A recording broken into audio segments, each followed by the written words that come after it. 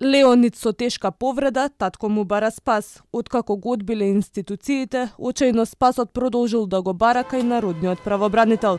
Терминологијата го забавила процесот на лекување на младото момче, а законските и подзаконските акти во државата предвидуваат лекување, а не рехабилитација на товар на Фондот за здравствено осигурување, вели заменник народниот правобранител Јован Андоновски.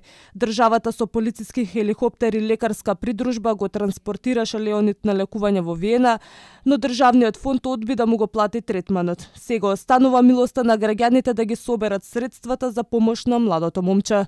На стручен колегиум на Народниот правобранител ќе предложам ние како Народен правобранител заедно со стручната служба да изготвиме измени на законот и на подзаконските акти и да им ги доставиме на Фондот за здравствено осигурување и да им ја олесниме работата да бидат во насока на а, да се цени сепак спецификата на случајот, а не да се оди само по строга дефиниција на тоа што е лекување, а што е рехабилитација. Затоа што сме свесни дека за жал кај нас во здравствениот систем имаме многу услуги кои што не се достапни за граѓаните.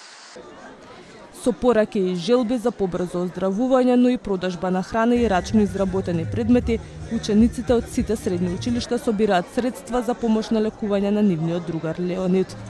Во денешниот настан имаме штандови со храна, имаме свирки, имаме диджеј, пишувавме пораки во училиштето кои ќе Лео се надам дека ќе ги прочита и ќе му биде многу Генерација сте со Лео што сакате да му порачате вака сите заедно? Конкретно сакаме да му порачаме брзо оправување, се надеваме дека повторно ќе седне со нас во нашите училишни клупи, дека заедно ќе може да продолжиме да другаруваме со него и сите да бидеме обединети заедно.